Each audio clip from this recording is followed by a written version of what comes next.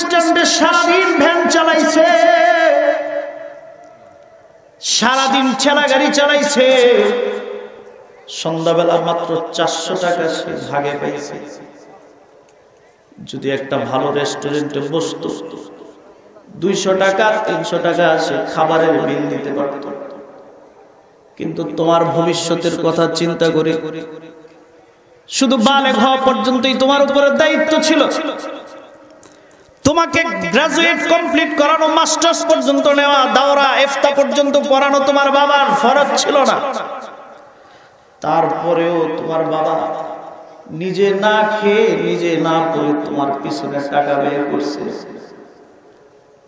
এ এলাকার যুবক, তুমি যখন দুর্বল ছিলা, তোমার বাবার কাঠটা তোমার বাহন হিসেবে ব্যবহৃত হয়েছে তোমার পকেটে যখন টাকা ছিল না, তোমার বাবার পকেটটা তোমার পকেট হিসেবে ব্যবহার হয়েছে মার ভালোবাসা তো আরও উঁচু ভালোবাসা। কারণ ওই মা তোমাকে একদিন নয়, দুই দিন নয় নয় মাস পর্যন্ত পেটের মধ্যে তোমাকে ধারণ করছে। নবী ওয়াস সালামকে সাহাবী বলে ও গো আল্লাহর নবী মার আর বাবার হক কি?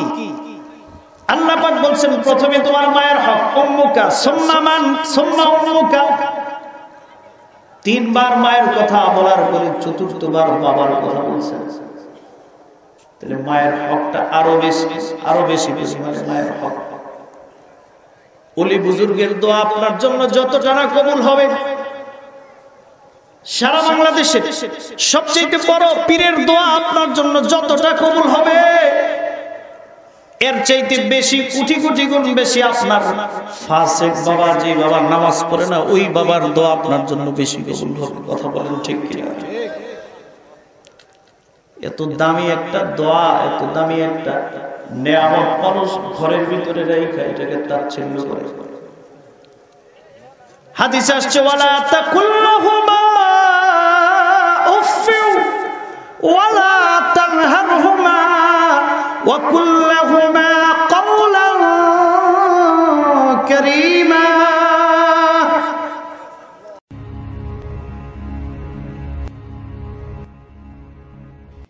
ইসলামিক মিডিয়া সুস্থ সমাজ বিকাশের জন্য অনলাইন মার্কাস টিভি। ওয়াকাদা তোমার রবের ফায়সালা। এই আয়াতে আল্লাহ পাক দুইটা সিদ্ধান্তের কথা পৃথিবীর মানুষকে বলতেছেন। আল্লাহ ইয়্যাহ অবশ্যই অবশ্যই তোমার আল্লাহ তাআলার ইবাদত করতে হবে। এবাদত কার করতে হবে? জোরে আওয়াজ আবার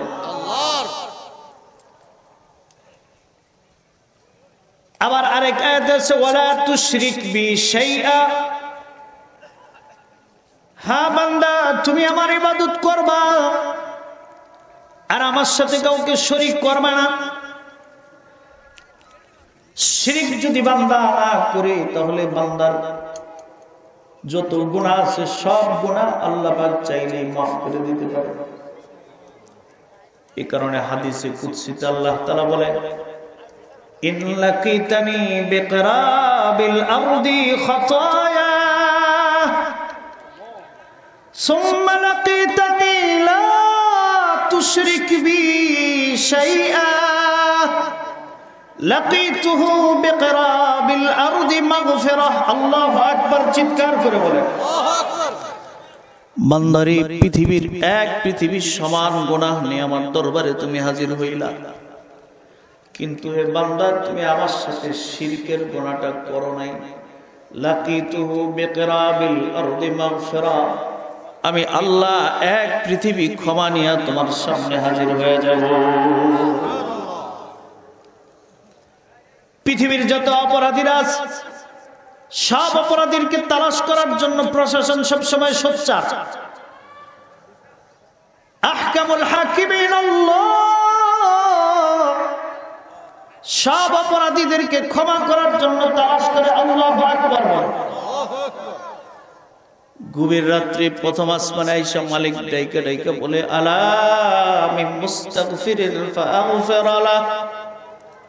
কে আছো বান্দা, আমার কাছে ক্ষমা চাও, আমি তোমাকে মাফ করে দিই। আলা সন্তানের অভাবী আমার কাছে চাও, আমি দিয়ে দিই। প্রতিটা কদমে কদমে বান্দা যখন গোনার দিকে আগা যায়, আল্লাহ ডাক দিয়ে বলি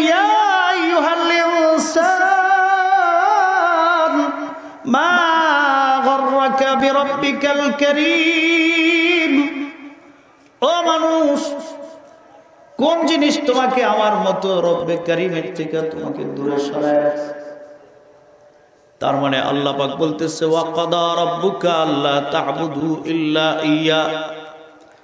আল্লাহর এক নাম্বার ফয়সালা হচ্ছে আল্লাহর সাথে শরীক করা যাবে না, আল্লাহর ইবাদত করতে হবে।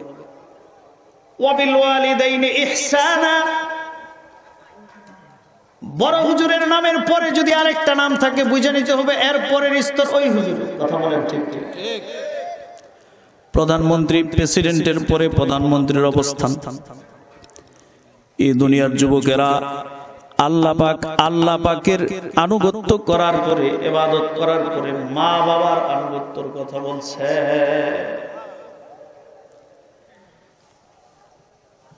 খালি চোখে দেখতে মনে হয় একজন হচ্ছে খালেক, আরেকজন হচ্ছে মাখলুক। আল্লাহ নিজের এবাদতের পরেই মা বাবার কথা নিয়ে আসছেন। এই মা বাবা আমার সাথে একই ঘরে বসবাস করে। এটা আমার আপনার নজরে দিলে ওইভাবে আঘাত করে না। অথচ আল্লাহ নবী বলে, হুমা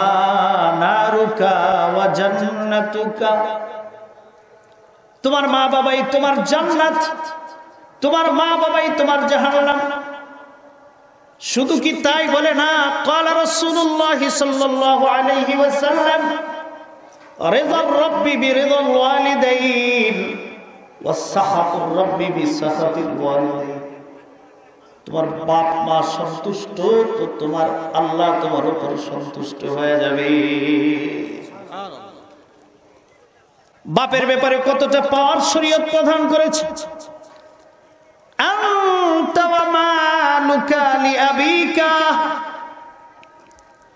তুমি নিজে আর তোমার সম্পদ, এটা তোমার বাবা মানে এই এলাকার কোন যুবক গৌরীপুরে একটা বাড়ি বানাইল।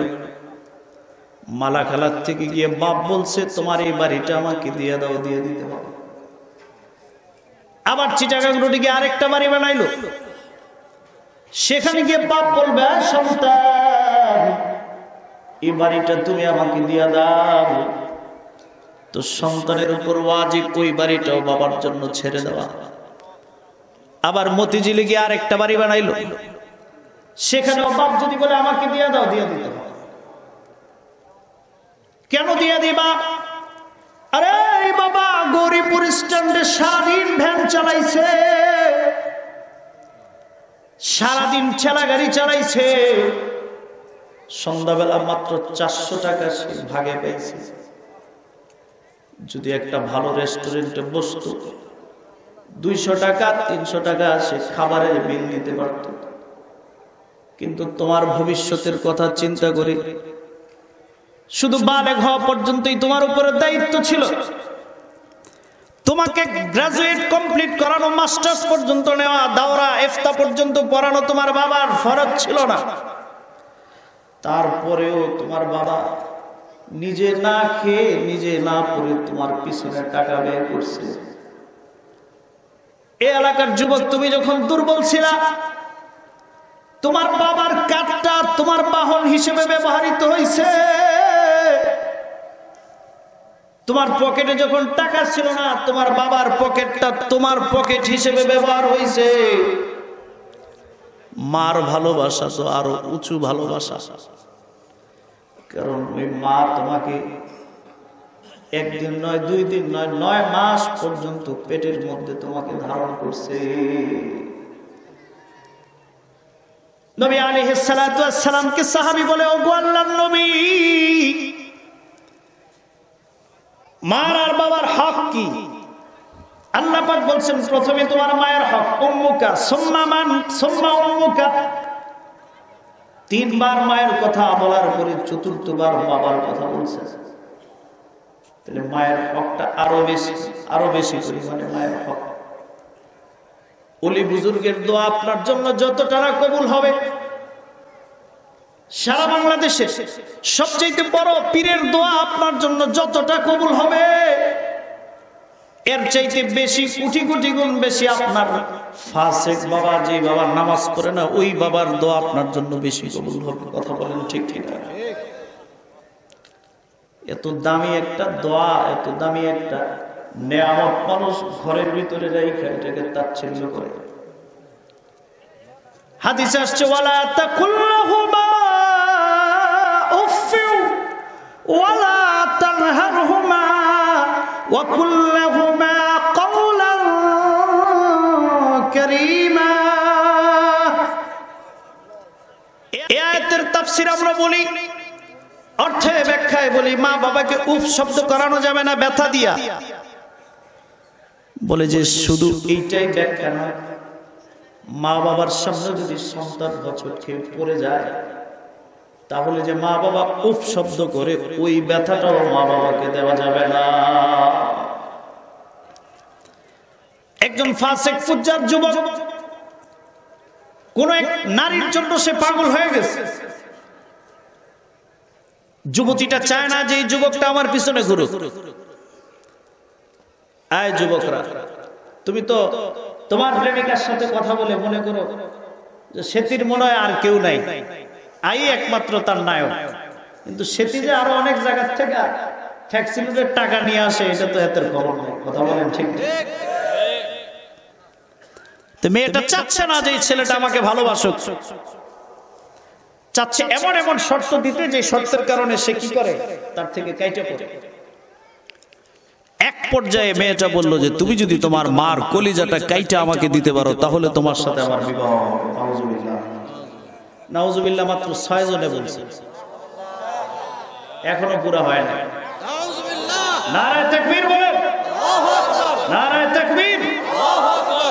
সামনের দিকে আগায় বসি আমরা। শুরু থেকে সামনের দিকে আগায় বসি। এদিক সেদিক যারা দাঁড়িয়ে আছে, আমরা মেহরবানি করে বসে যাই। আল্লাহ বরকত দান করেন, সকলে বলি আমি এইবার এই ছেলেটা মনে রাখবেন, সময় সংক্ষেপ। কোন কিছুর জন্য বস্তুর ভালোবাসা মানুষকে অন্ধ এবং বদির বানায় দেয় যে কারণেই যারা দেখবেন নেশা করে, এরা ঘরের লোটা, বদনা, বালতি বিক্রি করে নেশা খায়। কথা বলেন ঠিক কিনা? বাবার পকেটের টাকা, মায়ের গলার হার, এগুলো বিক্রি করে কি খায়? কি আবার আছে না নাই? এই যুবকটা না ফরমান এতটা। সে তার মায়ের কলিজাটা কাইটা প্রেমিকার বাড়ির দিকে দৌড়ায়। রাস্তার মধ্যে পাথরের সাথে হচট খেয়ে তার হাত থেকে কলিজাটা পড়ে দিছে। ওই কলিজার থেকে আওয়াজ আসছে, বাবা, তুমি যে পাথরের সাথে হচট খাইছো, তুমি ব্যথা পাইছো আল্লাহ এর নাম মা, এর নাম বাবা।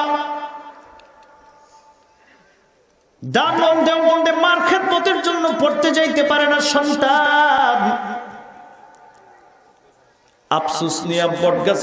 নিচে সাদা পাগড়ি যুবা পরে একজন এসে বলে, ও যুবক, তোমার কিসের দুঃখ, কিসের যন্ত্রণা?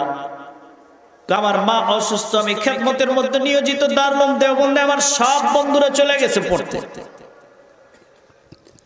তুমি এই টাইমে প্রতিদিন এইখানে আমাকে সময় দিতে পারবা পারব। সিহাসিত্তার সবগুলা কিতাব এক বছরে এই গাছের নিচে বৈশা পড়ায়। শেষ হাদিসটা পড়ায় বলতেছে, যুবক, আমি কে? তুমি একবারও জানার চেষ্টা করলে না। এবার বয়োজ্যেষ্ঠ পাগড়ির মুরব্বী বলতেছে আমি হচ্ছি খিজির আলাইহিসসালাম আল্লাহ তাআলা তোমার মায়ের খেদমতকে পছন্দ করে তোমাকে এলেম শেখানোর জন্য আমাকে এখানে পাঠায় দিয়েছে আল্লাহু আকবার বলেন। ইমামে বুখারি রাহিমাহুল্লাহ জন্মের পরে মা নিয়ত করছে বড় মহাদ্দেশ বানাবে। চক্ষুটা অন্ধ হয়ে গেছে। মা আল্লাহর দরবারে রোনাজারি করতেছে, আল্লাহ। সন্তান আমি করেছি, বড় আল্লাহ। ও মালিক, তুমি আমার সন্তানের চোখের আলোটা ফিরায় দাও। ইমামে বুখারী রহমাতুল্লাহ আলাই স্বপ্নে দেখে, ইব্রাহিম আলাইহিস সালাতু ওয়াস চোখের মধ্যে হাত ভুলাই দিছে, ঘুম থেকে উঠা দেখে দুই চোখে আলো ফিরে আসতেছে ওয়াইস আল কথা সকলেরই জানা। আল্লাহর নবী অমরকে বলছে, অমর, আমার এন্তেকালের উপরে তুমি ওয়াইস আল কারণের থেকে দোয়া নিবা। কারণ মার খেদমত করে সে এত দামি হয়েছে আমার এই জুব্বা, আমার এই জামাটা তারে হাদিয়া দিবা। হজের মৌসুমে হজরত খুতবার মধ্যে দাঁড়ায় বলতেছে, ওই এলাকার থেকে কে আসছো? ছয়জন দাঁড়াইছে। তোমাদের মধ্যে ওয়াইস নামক লোকটাকে কয় সে তো আরাফার ময়দানে চলে গেছে। হজরত ওমর আর হজরত আলী আনহুমা। গিয়া দেখে জীর্ণ শীর্ণ একটা মানুষ মরুভূমির মধ্যে নামাজে দাঁড়ায় রয়েছেন পিছন দিক থেকে হজরত আলী বলতেছে, আয় আল্লাহর খলিফাতুল মুসলিমিন তোমার সাথে সাক্ষাৎ করতে আসছে। হজরত ওয়াইস বলে আমি আবার কে? আমার সাথে খলিফাতুল মুসলিমিন সাক্ষাৎ করতে আসবে। হজরত ওমর তারে জড়ায় ধরে অঝরে চোখের পানি ফালায় বলল ওয়াইস রে তুমি তোমার মার খেদমত এই পরিমাণে করছ যে তোমার ব্যাপারে আল্লাহর নবী তোমার কাছে আমি ওমর রে দোয়া চাইতে বলছে। এজন্য এলাকার যুবক ভাইয়েরা যতদিন এই নিয়ামত আপনার আমার আছে, ততদিন এই নিয়ামতের কদর করতে হবে। অনেকে মনে মনে ভাবতেছেন, হুজুর, এই নিয়ামত তো আমাদের নাই। কবি ইকবালের মতো আমাদের দিলটা ভেঙে গেছে। আল্লামা ইকবাল লন্ডনের ডক্টরের ডিগ্রি নিতে গেছে। দেশে আসার আগেই তার মা এতেকাল করছে। লন্ডন থেকে আইসা আল্লামা ইকবাল মার কবরের পাশে গিয়া দাঁড়ায় বলছে, অমর ভর কে মে খিদমত কর রহি হব মাই তেরা খিদমত কি কাবিল হো তো চল বসে? মারে, সারা জিন্দগি ভর আবার খেদমত করলাম। যখন আমি নিজে তোমার খেদমত করার উপযুক্ত হইলাম, তুমি চলে গেছো এই মজলিসে এমন অনেক ভাই পাওয়া যাবে। মার জীবন তো দশায় বাবার জীবন দশায় পাঁচশো টাকা একসাথে চোখে দেখে নাই। পাঁচ হাজার টাকা একসাথে জমা করার তৌফিক হয় আজকে লক্ষ লক্ষ টাকা কামাই করে কিন্তু মারে দেওয়ার জন্য, বাবারা দেওয়ার জন্য পায় না। এমন বাবারা, এমন যুবকরা, আপনারা বলবেন, আমাদের এখন কি উপায় আছে? হ্যাঁ হাদিসে আসছে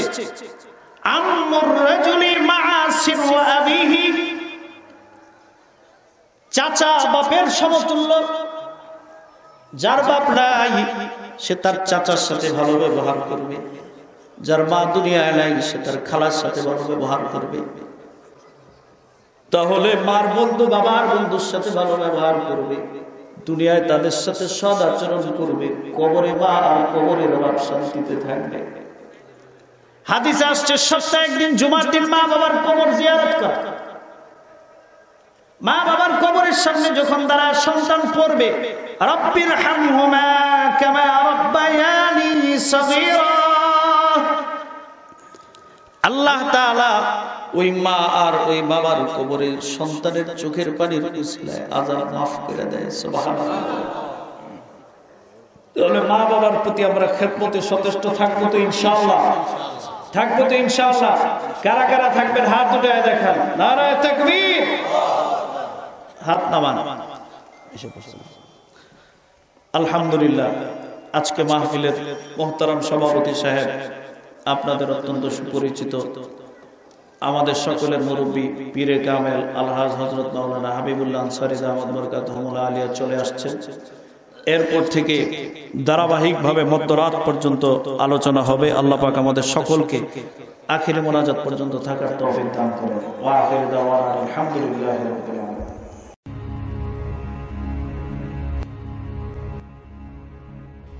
ইসলামিক মিডিয়া, সুস্থ সমাজ বিকাশের জন্য অনলাইন মার্কাস টিভি।